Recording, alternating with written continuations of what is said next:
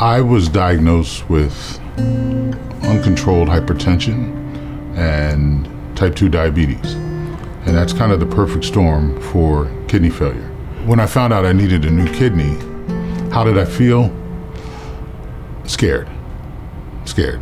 I was on the transplant waiting list just under five years.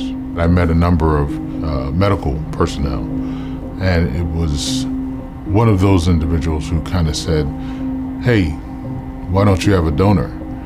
And I didn't have an answer. And the response was, Because you don't know how to ask. And I said, You're 100% right. I was able to write an appeal letter, and I decided to put it out on social media. Dear friends and family, some of you may know, and many of you do not know, that a few years ago I was diagnosed with chronic kidney disease, and over time my kidney disease has gotten worse, causing my kidneys not to work well enough to keep me alive. I am humbly asking a family member or friend to consider donating a kidney to me. I know this is a difficult decision.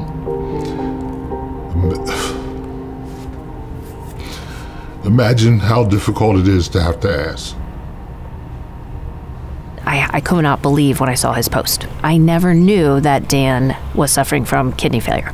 I had met Dan through our boys. So, my son Cooper and his son Brandon happened to be on the same travel soccer team.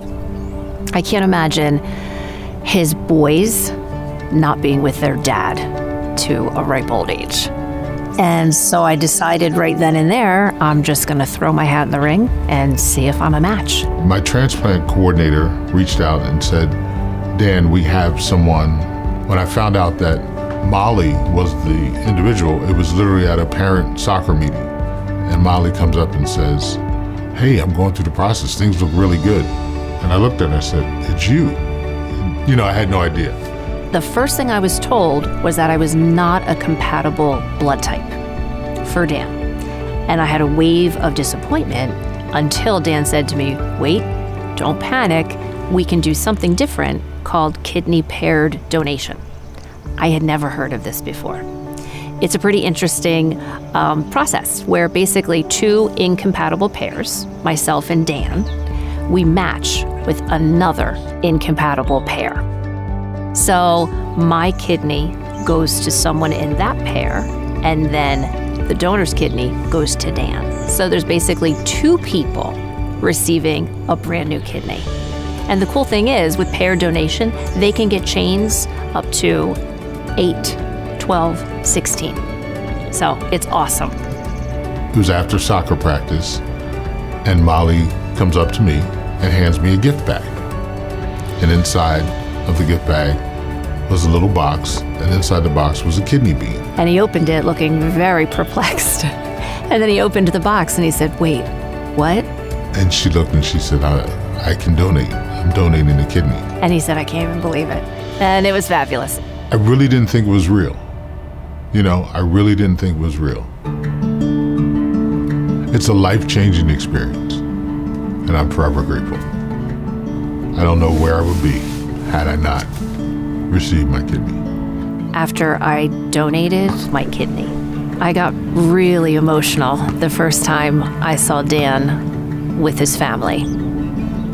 And that might have been when it hit me for the first time that in my mind, it was a small task. And I think for Dan and his family, it meant a lot more. You need to put yourself in the person's position who is waiting for that living donation. I've had friends who didn't receive a kidney and they're no longer with us. So my advice is to to get the word out. I have a responsibility to do so.